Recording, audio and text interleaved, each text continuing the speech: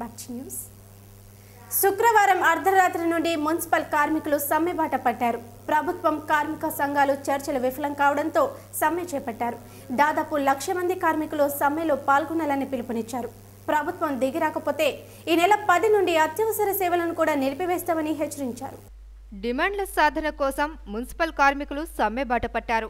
మంత్రి మహేందర్ రెడ్డితో జరిపిన చర్చలు విఫలం కావడంతో అర్ధరాత్రి నుండి సమ్మెకు దిగారు కార్మికులు. దాదాపు లక్ష ముప్పై వేల మంది కార్మికులు సమ్మెలో పాల్గొంటున్నారు.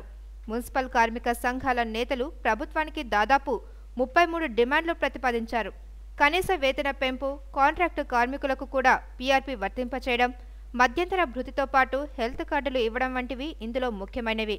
ఈ డిమాండ్లు నెరవేరే వరకు తమ సమ్మె కొనసాగుతుందని స్పష్టం చేస్తున్నారు.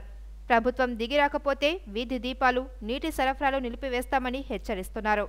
సమస్య పరిష్కారమై జీవో బయటకు వచ్చినాకే సమ్మె విరమిస్తాము. అప్పటి వరకు కూడా అన్ని సంఘాల తరఫున కూడా సమ్మె కొనసాగుతుందని అదేవిధంగా అవసరమైతే సోమవారం ఉదయం నుంచి వాటర్ సప్లై బంద్ అవుతుంది. అవసరమైతే నగర వీధుల స్ట్రీట్ లైట్లు కూడా బంద్ అవుతాయని కూడా మేము హెచ్చరిస్తున్నాం. కాబట్టి స- ప్రభుత్వం ఎప్పుడైనా స్పందించి వెంటనే కార్మికుల సమస్యలు పరిష్కారం చేయాలా?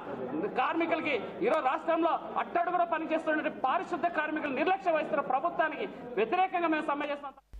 మున్సిపల్ కార్మికులు గతంలో కూడా సమ్మె చేశారు. ప్రభుత్వ హామీతో అప్పట్లో సమ్మె విరమించారు. అయితే అప్పుడు సమస్యలను పరిష్కరిస్తామని హామీ ఇచ్చిన అధికారులు ఆ తర్వాత ఆ దిశగా చర్యలు తీసుకోలేదని ఆగ్రహం వ్యక్తం చేస్తున్నారు కార్మిక సంఘాల నేతలు. ఒక ఒక కమిటీ వేశారు. త్రిసభ్య కమిటీ. ఆ కమిటీకి GHMC commissioner Somesh Kumar chairman. ఆయన ఆ జీవోలో ముప్పై రోజుల్లో ఈ సమస్యను పరిష్కరిస్తామని చెప్పారు. నేటికి ఈరోజు జీవో వచ్చి ఇప్పటికి తొంభై రోజులైంది. తొంభై రోజుల్లో ఒక్కసారి కూడా మా యూనియన్ సంప్రదించలేదు. ఈ కారణంగానే శుక్రవారం రాత్రి నుండి నగరాల్లో పట్టణాల్లో మున్సిపల్ కార్మికులు విధులకు హాజరు కావడం లేదు. దీంతో పారిశుద్ధ్య పనులన్నీ నిలిచిపోనున్నాయి.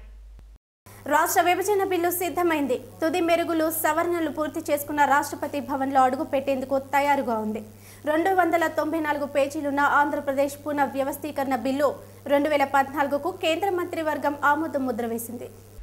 శుక్రవారం సాయంత్రం కేంద్ర కేబినెట్ సమావేశం వాడి వేడిగా సాగింది. పలు అంశాలపై సీమాంధ్ర మంత్రుల అభ్యంతరాలు దానికి కేంద్ర మంత్రుల బృందం సమాధానాలతో వాతావరణం వేడెక్కింది.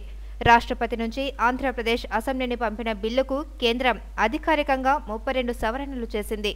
మొత్తంగా సీమాంధ్ర నేతలు చేసిన పది డిమాండ్లలో ఎనిమిదింటిని కేబినెట్ ఆమోదించినట్లు ప్రభుత్వ వర్గాలు తెలిపాయి.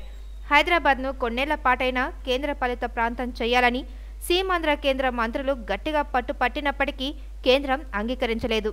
హైదరాబాద్ పదేళ్ళకు మించకుండా ఉమ్మడి రాజధానిగా మాత్రమే ఉంటుందని తేల్చి చెప్పింది.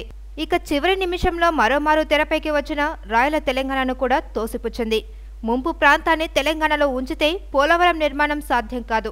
భద్రాచలం రెవెన్యూ డివిజన్ను సీమాంధ్రలో కలపాలి అనే డిమాండ్ను పాక్షికంగా పరిగణలోకి తీసుకుంది.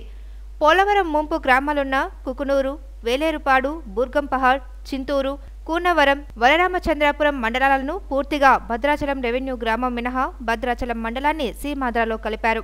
అంతేకాకుండా పోలవరం ప్రాజెక్టుకు తెలంగాణ రాష్ట్రం ఆమోదించినట్టుగానే భావించి కేంద్రమే నిర్మాణ పనులు చేపడుతుందని స్పష్టం చేశారు.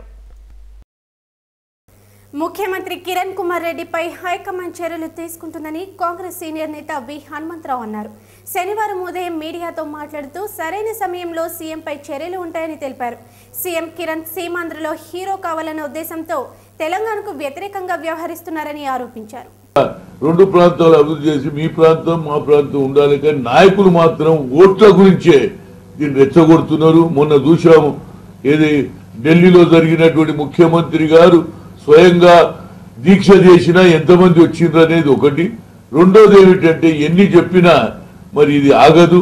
అక్కడ ప్రజలు కూడా అర్థం చేసుకోరు. సామాన్యంగా లోకల్గా ఉన్నటువంటి అది వైజాగ్ కావచ్చు గుంటూరు కావచ్చు కృష్ణా జిల్లా కావచ్చు ఒంగోలు కావచ్చు అందరికీ అర్థమైంది.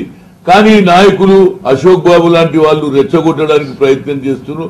అందులో మూల కారణం నా ఉద్దేశంలో మరి ఆయన ఏం మాట్లాడుతాడో ఏమో తెలియదు. మొదటి నుంచి కూడా రెచ్చగొట్టడానికి ప్రయత్నం చేస్తున్న మరి లగడపాటి రాజగోపాల్ కూడా దయచేసి ఇంకా ఫర్దర్గా రెచ్చగొట్టి ప్రశాంత వాతావరణాన్ని చెడగొట్టొద్దు హైదరాబాద్లో ఉన్నటువంటి మిత్రులందరూ మా అన్నదమ్ములు మేము ఎవరిని బొమ్మని అంటలేము. ఎవడన్నా చీటి మాటి ఎవడన్నా చిల్లరగాడు ఏదన్నా అంటే దాన్ని మీరు సీరియస్గా తీసుకోదు అలాంటి వ్యక్తులకు మేము సరి అయిన బుద్ధి చెప్తాం. అలాంటి మాటలు రానియొద్దు. అన్నదమ్ములుగా విడిపోదాం. మీరు సహకరించండి అని పార్లమెంట్లో నేను కోరుతున్నా.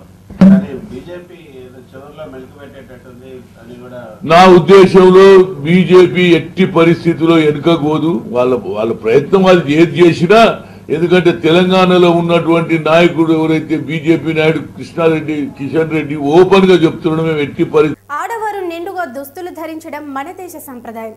కానీ లేడీ గాగా లాంటి వాళ్ళని చూస్తే అసలు ఇలాంటి వారు కూడా ఉంటారా అనే అనుమానాలు వ్యక్తమవుతాయి. ఇప్పుడు ఇండియాలో కూడా ఓ లేడీ గాగా పుట్టుకొచ్చింది. అయితే వీరు ఏది చేసినా అందులో సందేశం ఉందంటున్నారు. ఇంతకీ వీరు ఏం చేశారు? వీరి సందేశం ఏంటో తెలుసుకోవాలంటే వివరాల్లోకి వెళ్ళాల్సిందే. ఇంటర్నేషనల్ పాప్ స్టార్లలోకెల్లా లేడీ గాగా విలక్షణం. ఆహార్యం చూస్తే ఛ ఇలాంటి దుస్తులు బయట వేసుకుంటే జనాలు వెంటపడి తరుముతారు అనిపించేలా ఉంటాయి. ఇక ఆవిడ హెయిర్ స్టైల్స్ చూస్తే ముఖం ఎక్కడుందో సరిగ్గా కనిపించక నానా అవస్థలు పడాలి. అప్పుడెప్పుడో గ్రామీ అవార్డుల వేడుకలో మాంసంతో రూపొందించిన గౌను వేసుకొని వచ్చి అందరికీ రోత పుట్టించింది లేడీ గాగా.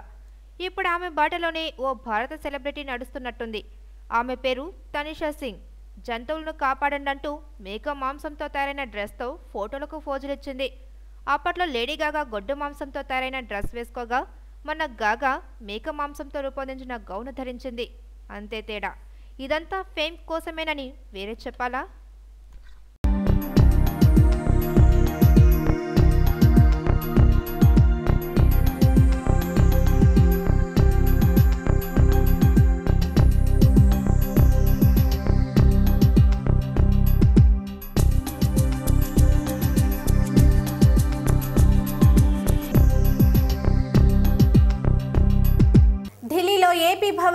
రేణుకా చౌదరి తోడగొట్టారు. నువ్వెవడి మీరా మాట్లాడేదానికి అంటూ హుంకరించారు. పోలవరం ముంపు గ్రామాలను సీమాంధ్రలో కలపరాదంటూ తెలంగాణ విద్యార్థులు ఢిల్లీలోని ఏపీ భవన్ వద్ద ధర్నా చేపట్టారు. వీరికి సంఘీభావం తెలపడానికి వెళ్ళిన రేణుకను ఓయూ విద్యార్థులు రేణుక గో బ్యాక్ అంటూ అడ్డుకోవడంతో ఉద్రిక్త వాతావరణం ఏర్పడింది.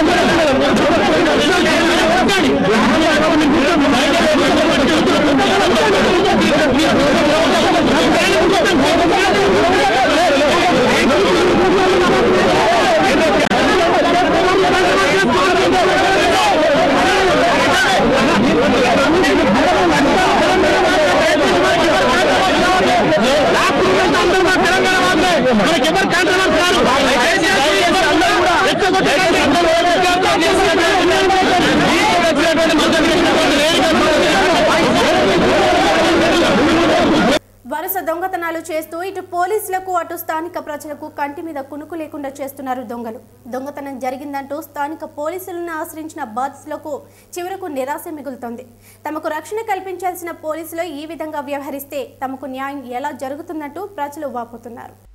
హైదరాబాద్ మల్కాజిగిరిలో నిత్యం జరుగుతున్న దొంగతనాలతో స్థానికులు తీవ్ర భయాందోళనకు గురవుతున్నారు. మల్కాజ్గిరి మారుతి నగర్లో ఇంటి తాళాలు పగలకొట్టి ఆరు తులాల బంగారు నగలు నలభై తులాల వెండి వస్తువులు దోచుకుపోయారు దొంగలు.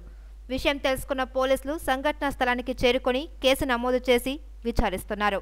నిత్యం మల్కాజగిరిలో దొంగతనాలు జరుగుతున్న పోలీసులు మాత్రం దొంగతనాలను నివారించడంలో విఫలమయ్యారని స్థానికులు ఆరోపిస్తున్నారు.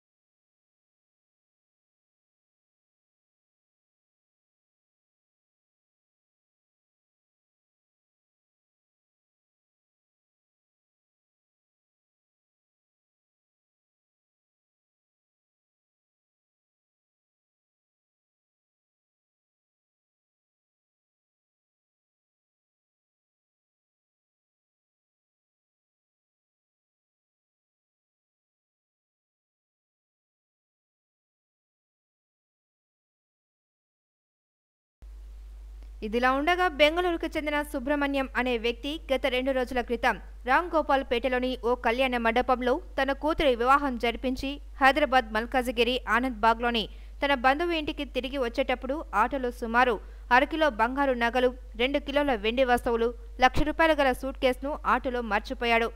ఆటోలో మర్చిపోయిన ఏడు సూట్ కేసులలో ఒక సూట్ కేసు మరిచాడని గమనించిన సుబ్రహ్మణ్యం మల్కాజ్గిరి పోలీసులను ఆశ్రయించాడు. తన సొమ్ము పోయిందని బాధితుడు ఫిర్యాదు చేసినప్పటికీ కేసు నమోదు చేసుకుని విచారించవలసిన Malkajgiri CI L C Naik అసలు బంగారం పోయిందా? డబ్బులు పోయాయా? అని ఆటలో మర్చడానికి ఏమైనా ఆధారాలు ఉన్నాయా? ఒకవేళ అవి పోతే అసలు అవి నీవేనా అంటూ ప్రశ్నించి కేసు నమోదు చేయమని ఎవరికైనా చెప్పుకోమని తమను పోలీస్ స్టేషన్ నుండి బయటకు తరిమేశారని బాధితుడు ఆరోపిస్తున్నాడు. తనకు న్యాయం చేయమని మీడియాను ఆశ్రయించాడు. కంప్లైంట్ చేస్తే ఇది మా పరిధిలో లేదు. మీరు మీ సామాన్ అక్కడ పోయింది కాబట్టి మల్కాజ్గిరి స్టేషన్కి వెళ్ళి అక్కడ కంప్లైంట్ చేయాలని చెప్పారు.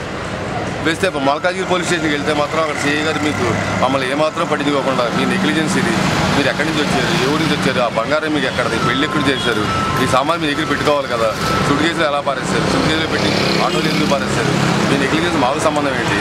మీరు ఏమీ చెప్పలేకపోతున్నారు? ఆ బంగారం ఎక్కడి నుంచి ఎక్కడది మీకు అసలు? ఆ బంగారం అందులో ఉందని గ్యారంటీ ఏంటి? బంగారం మీద గ్యారెంటీ ఏంటి ఆ వెండి మీద గ్యారెంటీ ఏంటి? అసలు మీ సంపాదనని మా గ్యారెంటీ ఏంటి అసలు? మీరు